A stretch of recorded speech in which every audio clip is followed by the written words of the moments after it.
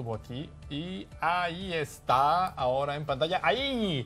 Podemos ver que empieza con lo de ¡Hola, criaturas! Que no sé qué, de, de bla, bla, bla, bla, bla, bla, bla. Entonces, como ves, son como todos los dibujos de, de- de storyboard que pasamos a, a- a una, a un video para ver como todos los tiempos, los ritmos, cómo debe Ya- haber. ya qué- con las voces, claro, ya claro. con- Pa- Para, para guía, ¿no? Para guía para toda la producción. Esto se va a música, a animación, a todos lados. Pero eso es nuestra guía más fuerte, ¿no? En- en Aprovecho para pedirle a los fans que nos vayan mandando sus personajes favoritos de villanos que Alan va a enseñar a dibujarlos. Oh, sí, un tutorial específico para ustedes.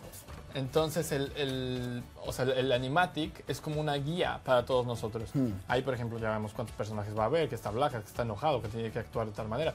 Y entonces esto lo pasamos a la parte de animación, que justo cuando acabe esto vamos a ver unos, unos pedacitos que les traje como de toda la, la fase de animación y todo lo que lleva. Entonces ya su...